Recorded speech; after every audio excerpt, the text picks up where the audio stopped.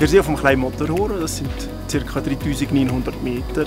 Es ist der höchste Lift, den wir haben in Europa Für uns ist das ein spezieller Lift, weil sehr viele Leute diesen Lift besuchen. Wir reden ungefähr von einer Million Leuten, die die Plattform besuchen pro Jahr. Und jeder Ausfall ist Katastrophe.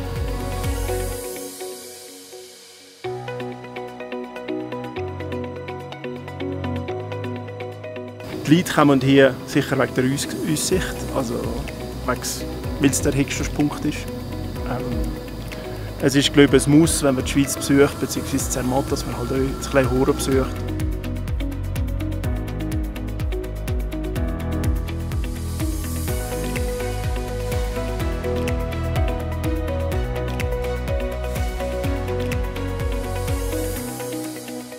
Wenn der Lift unser Betrieb ist, sind wir meistens im Betrieb.